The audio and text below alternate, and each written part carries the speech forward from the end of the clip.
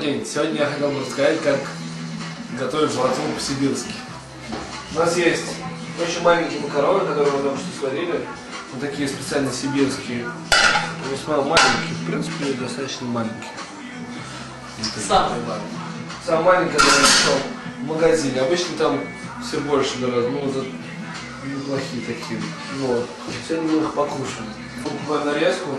Нарезка уже готова, 80 рублей стоит. Нас есть вот такой, можно сказать, Черпак черпак э, для воды. и сковорода. Вот.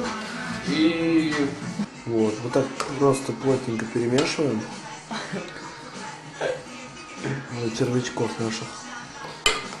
Чтобы красненького нигде не было. Нет ничего, ни масла, ни соли, ни хлеба.